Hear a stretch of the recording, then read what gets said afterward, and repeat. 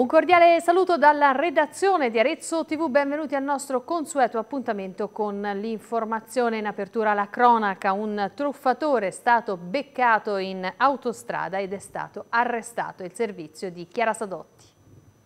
È stato intercettato in A1 con ancora il bottino, frutto di due truffe distinte ad altrettanti anziani consumate in provincia di Modena, monili d'oro e contanti per oltre 2.000 euro. A fermare il truffatore, un cittadino italiano di 50 anni lungo l'autostrada del Sole, i poliziotti della postrada di Battifolle.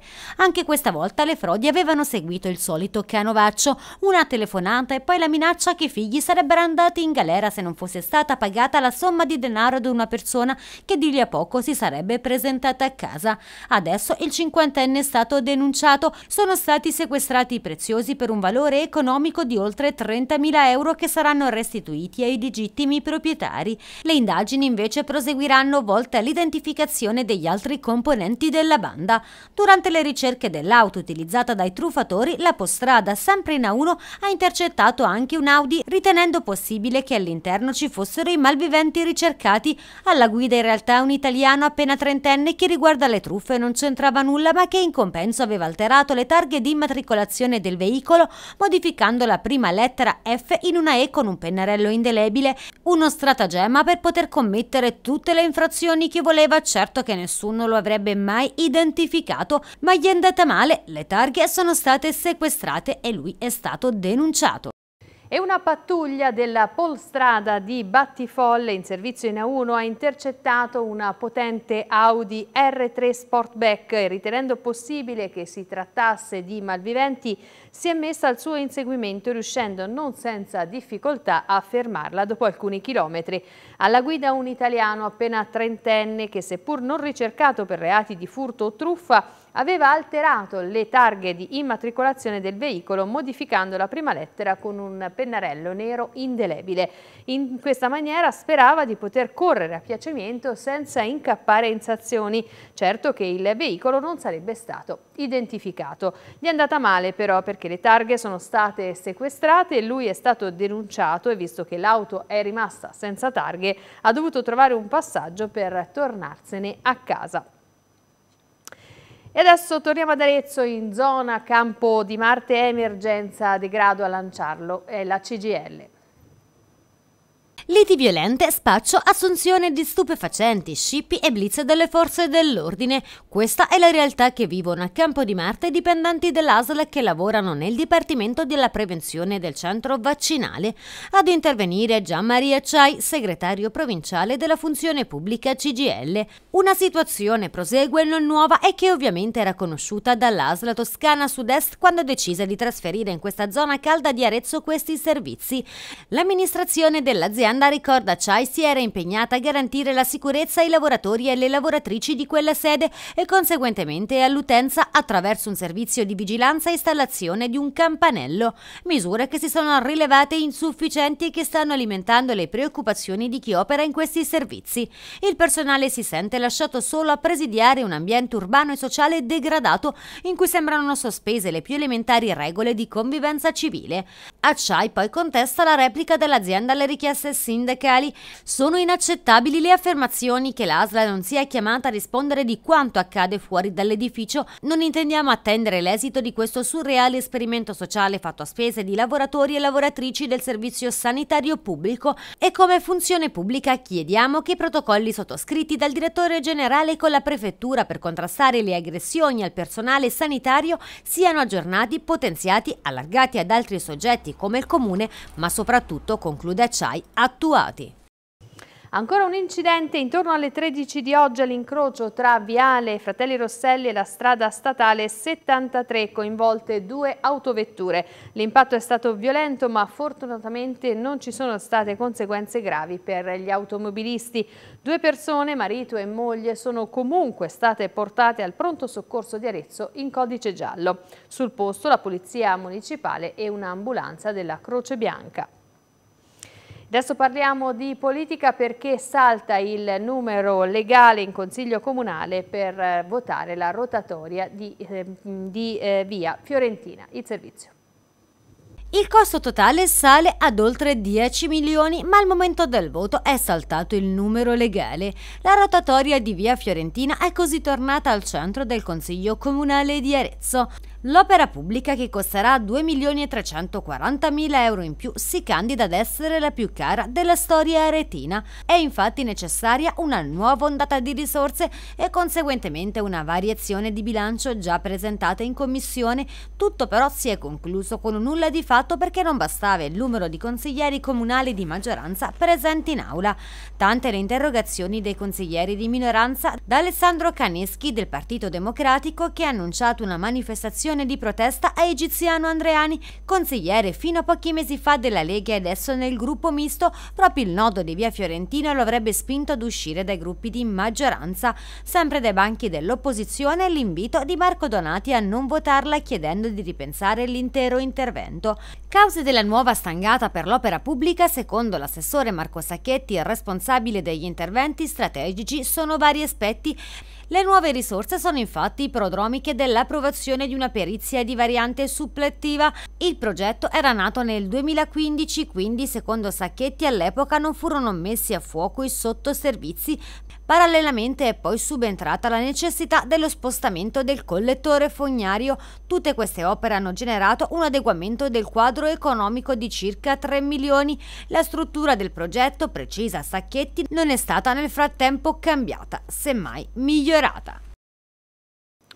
E adesso parliamo di giostra. Oggi è stata presentata la lancia d'oro ed è eh, dedicata a Giorgio Vasari. Vediamo il servizio non poteva che essere dedicata a Giorgio Vasari nei 450 anni dalla morte la lancia d'oro della 145esima edizione della Giostra del Saracino in programma sabato 22 giugno.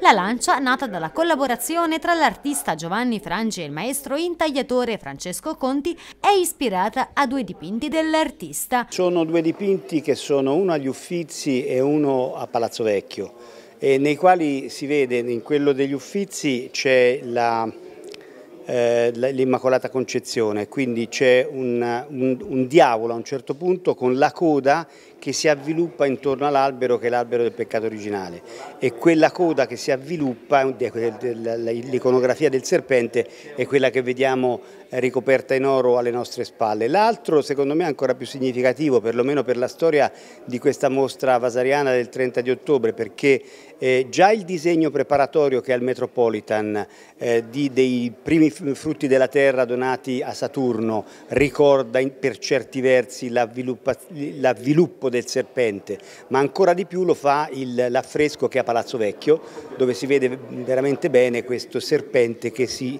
che gira intorno a un albero che è l'albero del male e con ai piedi il Saturno e il diavolo. Quindi è un'iconografia tipicamente vasariana molto bella che l'artista ha voluto riprendere, ha riportato nella lancia e ovviamente l'ha poi eh, dipinta eh, d'oro, il nostro metallo preferito ad Arezzo e quindi è una lancia secondo me bellissima. La novità più attesa di questa edizione è senza dubbio il ritorno della consegna dell'ambito trofeo sotto la tribuna. Avverrà in un palchetto apposito che viene, verrà costruito nei prossimi giorni, che affiancherà quello dove normalmente risiede il cameraman che riprende la, eh, la, giostra e che è separato, ci sono circa due metri di distanza dalla tribuna A per impedire che dalla tribuna A si acceda al luogo fisico dove il sindaco consegna la lancia al rettore del quartiere vincitore.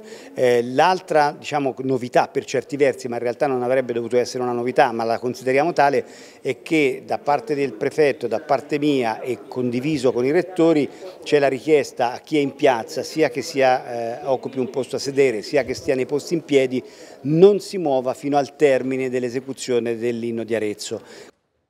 Settimana di campi estivi ispirati al mondo della giostra alla ASD Scuderia Pan di Molinelli. Da lunedì 17 giugno a venerdì 21 giugno i bambini, oltre che salire sui poni, si cimenteranno contro un mini buratto con piccole lance, sempre accompagnati da istruttori FISE che terranno per mano i bambini rendendo l'esperienza accessibile anche a chi non è mai salito a cavallo. Verranno costruiti abiti e cappelli simili a quelli della giostra e fatti altri giochi ispirati al Saracino. L'orario sarà dalle 8 alle 13 oppure fino alle 14.30. Per informazioni e prenotazioni telefonare a Francesca al 334 1545 975. E dalla giostra del Saracino passiamo al Palio dei Rioni di Castiglion Fiorentino. Il Palio dei Rioni rappresenta uno dei punti più alti delle nostre tradizioni tra sacro e profano che si fondono insieme, creando una manifestazione che coinvolge tutta la popolazione nelle varie iniziative. Una di queste si è svolta proprio questa mattina con la visita alle stalle che ha visto la partecipazione di tanti bambini e ragazzi. La visita alle stalle di Rione è un'iniziativa che permette ai giovani castiglionesi di immergersi nel fascino dei nei rituali di questa manifestazione. Possono cogliere la passione, la dedizione e l'impegno con cui i rionali preparano nei minimi dettagli la giornata dedicata alla Madonna delle Grazie del Rivaio. Questa iniziativa che ha preso il via negli anni passati, oltre ad essere il veicolo per la promozione turistica di Castiglion Fiorentino, diventa anche un'occasione per avvicinare le nuove generazioni alla vita rionale che può svolgere anche un ruolo sociale e di aggregazione. La mattina è cominciata con la visita alla stalla del Rione Cassero, successivamente a quella di Porta Romana e infine a quella di Porta Fiorentina. La visita alle stalle è terminata con una colazione presso i giardini pubblici. E adesso spostiamoci a Civitella dove si è concluso il simposio di scultura monumentale legato all'eccidio di Civitella. Vediamo com'è andata. Quando c'è una strage così eh, si fa una ferita nella comunità come, uno, come se fosse uno spirito. Quando si eh, cerca di guarire questa ferita è una cosa che si deve guarire anche in comunità.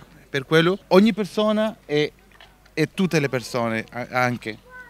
E poi è un portallo che si deve attraversare per lasciare indietro questo dolore. Sono arrivati da tutto il mondo e dallo scorso 25 maggio hanno lavorato, scarpelli e molle alla mano, allo stadio comunale per il simposio internazionale di scultura monumentale nell'ambito dell'ottantesimo anniversario dell'eccidio nazifascista del 29 giugno 1944. Non solo a ricordare e commemorare la morte di, di queste cidi, ma anche di dare una visione per un mondo migliore attraverso tutta un'evocazione che ognuno ha interpretato in modo diverso, perché sono tra l'altro tre continenti che insomma sono abbastanza distanti da noi. Pues mi obra tiene que ver con la dualidad, con una sociedad contemporánea muy cómoda referente a una sociedad que está en constante conflicto de, de guerra y de, y de malestar. Sono tutti progetti che si legano prevalentemente alla natura, cioè il rapporto della rinascita, il rapporto dell'inseminazione, della, e anche per esempio la mia che sono due spirali sono il DNA, cioè quello di cambiare all'umanità questo modo di pensare e di vivere attraverso sempre l'esigenza di, di, distruggere per poi insomma, ricrescere senza rendersi conto di quello del danno che si crea. Adesso le 11 opere, 8 sculture in pietra e 3 in metallo di circa 3 metri di altezza sul tema della memoria sono concluse e sono state consegnate alla cittadinanza. Saranno installate nelle principali piazze delle frazioni del territorio comunale per ricordare le vittime dell'eccidio. Perché la memoria, quello che è successo a Civitella, non è un qualcosa che riguarda strettamente il paese la frazione Civitella, ma riguarda tutto il nostro comune. Intanto il borgo si prepara alle celebrazioni dell'ottantesimo anniversario dell'eccidio. Fu uno dei massacri massacri più efferati tra Civitella, Corni e San Pancrazio, 244 le vittime civili. Il 29 inaugureremo inoltre Civitella, oltre alle celebrazioni classiche, ci sarà anche quella che è l'inaugurazione di una mostra fotografica internazionale dell'artista Luigi Toscano, artista dell'UNESCO per la pace del 2020, una mostra che si chiama Contro l'oblio che per la prima volta eh, sarà esposta in Italia. Andiamo adesso in Valdarno, i bersaglieri di Montevarchi e di tutta Italia tagliano il traguardo dei 100 anni di storia. Era il 1924 quando nacque l'Associazione Nazionale Bersaglieri e lo stesso avvenne anche a Montevarchi. Un anniversario che sarà festeggiato il 22 e il 23 giugno con un grande raduno in città e con il gemellaggio tra le regioni di Toscana, Marche e Veneto. Tra le iniziative in calendario è in programma che è stato presentato dal sindaco Silvia Chiassai Martini e dal presidente regionale ANB Alfio Coppia la presenza del presidente ANB di Montevarchi Francesco Biondini. Un grande evento per celebrare i 100 anni dell'Associazione dei Bersaglieri sia a livello nazionale che per la sezione Montevarchina nata anch'essa nel 1924, afferma il sindaco. Un compleanno importante organizzato dal presidente Coppi che ha voluto portare nella nostra città il gemellaggio delle regioni Toscana e Marche e Veneto, con l'esibizione sabato 22 giugno in Piazza Varchi alle 21 delle tre fanfare mentre domenica i fanti piumati saranno protagonisti lungo via Roma alle 11 per la celebre marcia in corsa che da sempre affascina la popolazione. I bersaglieri sono un simbolo del paese impegnati ancora nel presente e nel futuro in attività di protezione civile e di volontariato, chiosa il sindaco, quindi un modello da seguire per il servizio reso alla comunità. E adesso torniamo ad Arezzo per presentarvi un nuovo progetto imprenditoriale. Ieri taglio del nastro per il nuovo locale Bambù, in quello che tutti ricordano come il Notti d'estate. Vediamo.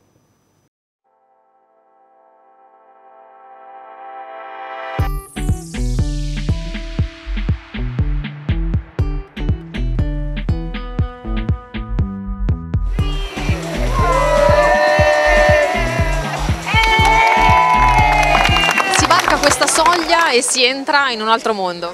L'obiettivo era quello, è stato un progetto lungo, difficoltoso, viene da lontano, da un'idea che avevamo con Arianna di portare un po' di tropici per far evadere un po' le persone di, di questa città che è una città senza mare, quindi portargli un po' l'idea del mare qua in città e speriamo di esserci riusciti, l'impegno c'è stato, quindi in bocca al lupo a noi e vi accogliamo tutti. E benvenuti a voi! questo è un esperimento anche che ha una valenza sociale perché questo è un luogo che da tanto troppo tempo era fermo al quale però gli aretini sono molto affezionati. L'obiettivo sì, era quello anche di ridare vita ad un locale che anche personalmente noi ce lo ricordiamo nella nostra gioventù. Ci faceva un po' dispiacere vedere sempre questo ambiente così abbandonato, trasandato e quando un anno fa ci hanno proposto di avviare questa avventura imprenditoriale, di rimetterlo in sesto e dargli una nuova vita, ci siamo lanciati. Qual è stata la filosofia con la quale avete letteralmente rivoluzionato questo locale? un edificio se vogliamo iconico, piuttosto riconoscibile, non era semplice come, come approccio progettuale, quindi eh, il progetto ha voluto mantenerne una certa porzione, quindi la tenda come elemento più riconoscibile, ma allo stesso tempo inventare un posto completamente nuovo che creasse degli spazi che prima non, non esistevano. Naturalmente spazi dedicati a un ambiente diciamo, di questo tipo, quindi un locale, un ristorante, eh, principalmente con spazi anche godibili in tutto l'arco dell'anno, soprattutto esterni, utilizzando una serie di materiali che fossero anche adeguati sia al contesto dove ci siamo inseriti, che è quello di, diciamo, periurbano della prima campagna della città di Arezzo, ma anche che evocassero un po' un ambiente altrove, quindi venire qui un po' e dimenticarsi un po' le fatiche quotidiane, entrare in una dimensione più di relax, quasi più vacanziera. Non hai bisogno di prendere un aereo, eh, basta soltanto venire al bambù e ti sentirai in vacanza eh, con, le, con, la nostra atmosfera, il nostro cibo, la nostra musica, luci, ti sentirai in vacanza.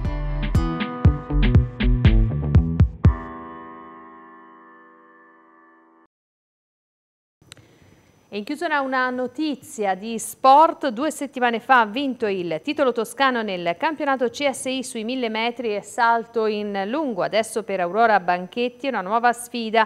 La giovane promessa categoria 2012 ha un appuntamento importante nella giornata di domani a Pietrasanta dove si terrà la fase finale della Coppa Toscana. Lei si presenta ai nastri di partenza come atleta individuale grazie alla quinta prestazione in tutta la Toscana ottenuta sulla distanza dei 600 metri con un tempo di 1 minuto e 50 secondi e 2 decimi. Domani la gara sarà ancora più impegnativa perché si troverà a gareggiare con il pari età sui 1000 metri. E prima di chiudere vi ricordo che questa sera alle 21 andrà in onda la trasmissione La Piazza, una trasmissione politica condotta da Carlo Gabellini. In studio saranno presenti i principali segretari dei partiti per commentare le recenti elezioni europee e amministrative. E con questo è davvero tutto per il nostro telegiornale. Io vi ringrazio come sempre per l'attenzione e vi auguro una buona serata. Arrivederci.